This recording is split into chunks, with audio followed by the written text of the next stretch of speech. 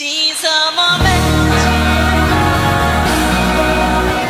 ich schau mir an, hat morgen wie, der Spiegel schmeichelt grad irgendwie.